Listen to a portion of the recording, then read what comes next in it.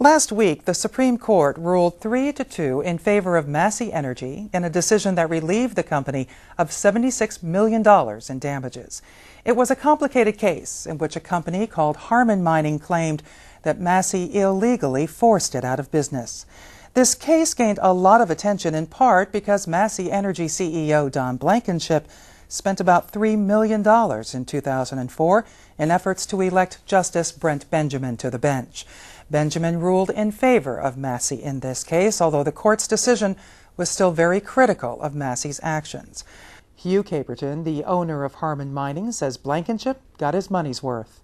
We have a uh, we have a court that is politicized, and that is something that we're we've we've lived with for years and years and years, but it's gotten worse.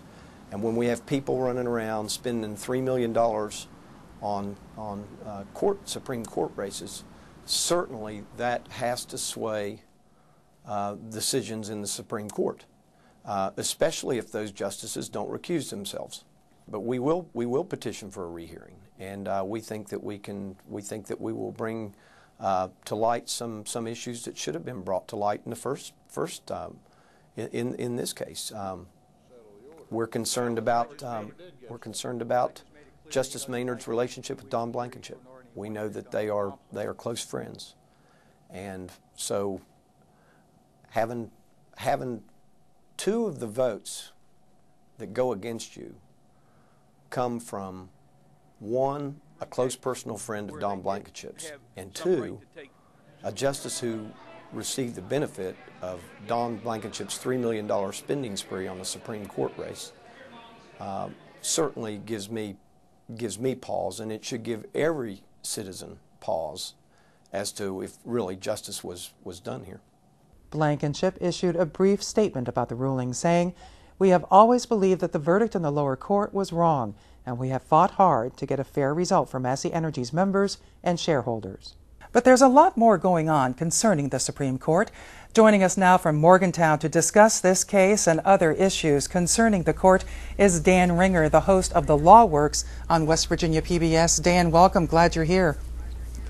Thank you, Beth. First question We and other media have been pointing out Blankenship's relationship and ties to Benjamin through his funding of a campaign that supported Benjamin's efforts to become a Supreme Court justice. Is it fair to do so? Oh, sure, it's fair to talk about it because this is America. We can talk about all of those things. The question is, how much weight do you assign to the fact that Blankenship supported Benjamin in an election, eh, and quite significantly? Well, you know, in a political process, and the election of Supreme Court justices is a political process, you have people who are for you and you have people who are for someone else and perhaps even against you.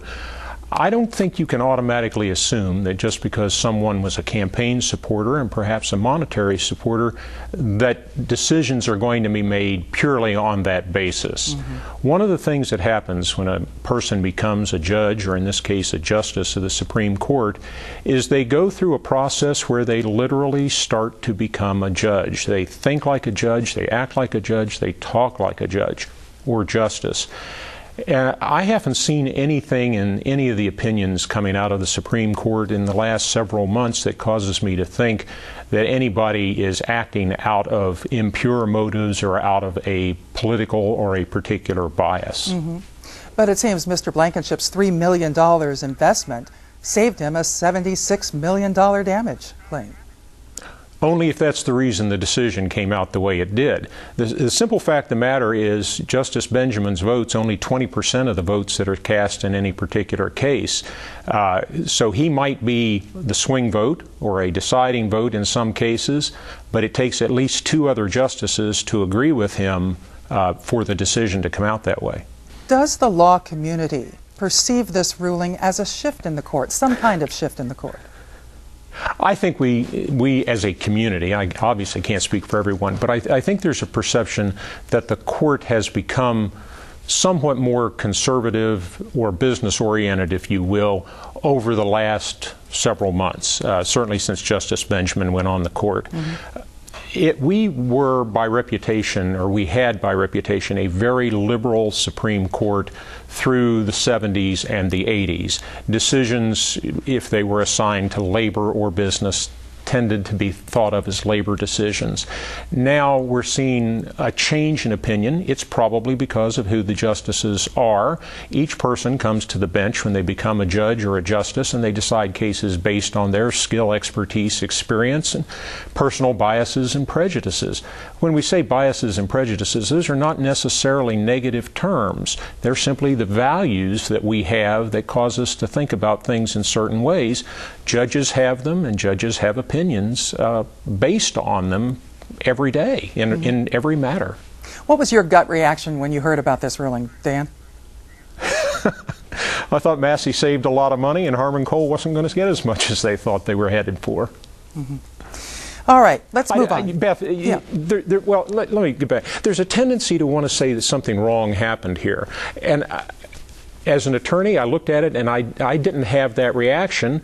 I wasn't surprised that a court that uh, I thought of as being more pro business than in past times made a decision like that, but I want to read the opinion to find out why. As you say, it's a complex case. I've only scanned it, I don't know what the details uh, are of it.